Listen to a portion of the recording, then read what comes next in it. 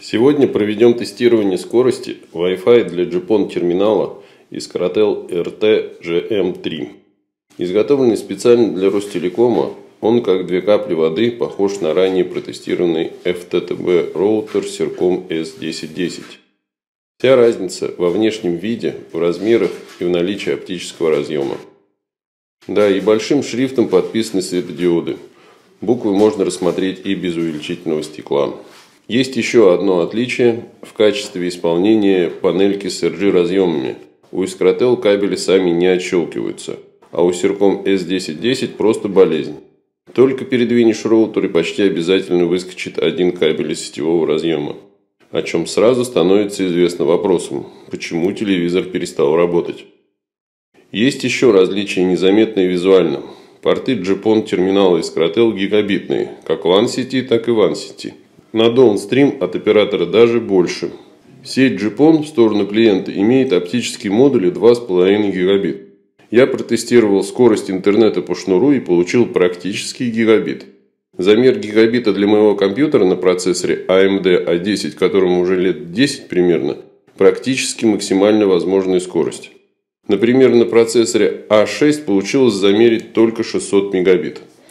Если будете измерять у себя, поинтересуйтесь, насколько мощный у вас компьютер. Терминал имеет двухдиапазонный Wi-Fi 2,4 и 5 ГГц, соответственно, с поддержкой протокола 802.11n и полосой пропускания 20 или 40 МГц для диапазона 2,4 ГГц и 802.11n или AC с полосой пропускания 20, 40 или даже 80 МГц для диапазона 5 ГГц. Для тестирования протокола АЦ у вас должно быть соответствующее оборудование. Другие устаревшие протоколы, поддерживаемые терминалом, нас не интересуют. Для чистоты тестирования сбросил терминал кнопкой Reset, выставил заводские настройки. Надо сказать, тестирование скорости показало относительно невысокие результаты. Самое большое место 19 с 86 мегабитами. Средней скорости в 5 ГГц диапазоне – измерялось планшетом AirPad 2. Далее тесты легли кучно. 55, Т61 и 66 место со средней скоростью плюс-минус равно 50 мегабит. Всего на данный момент в зачетной таблице 91 тест. Да, мы сегодня рекордов не намерили, но забегая вперед, терминал может показывать результаты куда более высокие – Просто клиентские устройства выбрали полосу пропускания 20 МГц, которая дает меньшую скорость, но прекрасную стабильность связи. Поставив вручную полосу 40, скорость взлетела. Взлетела она на телефоне Samsung в три раза. Но в данном видео не буду рассматривать ручной разгон. Лучше выпущу отдельное видео. Во-первых, обычные пользователи обычно не меняют настройки роутера. но и правильно делают. А, в авторежиме терминал отработал у меня почти месяц, без нареканий. Как только разогнал, сразу появились нарекания, типа интернет на планшете тормозит. Страницы не открываются и не закрываются. Посмотрел на диапазон, в котором работает планшет 5 ГГц. Как и предполагал, переключил на 2,4 претензии пропали. Но то есть, как замечал ранее в предыдущем видео, разрыв шаблона или почему 5 ГГц работает хуже, диапазон 5 ГГц не так хорош, как про него говорят. Если внимательно смотрели графики со скринов экрана настроек терминала, то он у меня, в отличие от 2,4 5 ГГц, не зашумленный. Только почему-то стабильнее работает 2,4, хоть и на порядок с меньшей скоростью. То есть уже не первый раз замечаю, что высокая скорость не равно стабильный интернет. Сотовые компании предпочитают работать в диапазоне частот с меньшими значениями, так как чем ниже частота, тем меньше отражения от препятствий и больше огибающая способность у волн.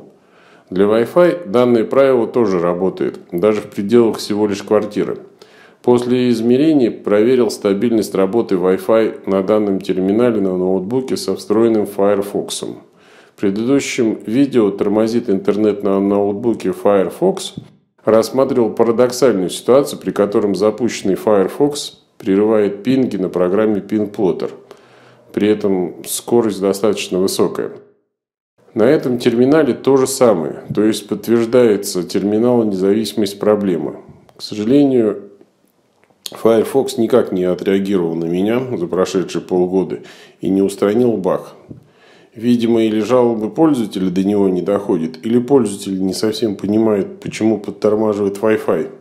Хотя в жалобах техподдержки я встречал обращения по поводу нестабильной работы именно Firefox и требование сделать так же стабильно, как и в Chrome. Правда, пользователь указывает на разницу в измерениях скорости через Firefox и Chrome. То есть они все время пытаются апеллировать к единственному индикатору проверки интернет, который знают, то есть к скорости. Хотя это не панацея. Если видите проблемы с интернетом, то попробуйте пропинговать ресурс, имеющий проблему, и использовать Traceroute для определения транзитных узлов. Иногда причины бывают уже и на первом хопе, то есть между вашим ноутбуком, допустим, и роутером. Кстати, заметил, Firefox не единственная программа, портящая Wi-Fi. Запущенный анализатор Wi-Fi под названием Acrylic Wi-Fi создает еще большие тормоза на моем ноутбуке – даже, надо сказать, работать на нем невозможно при запущенной программе Wi-Fi анализаторе.